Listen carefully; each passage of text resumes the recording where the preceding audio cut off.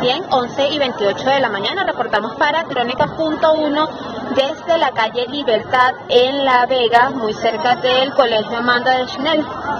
Pueden ver ustedes la cola para escanear el carnet de la patria en este punto rojo, ubicado pues eh, a pocos metros del Liceo Amanda de Schnell.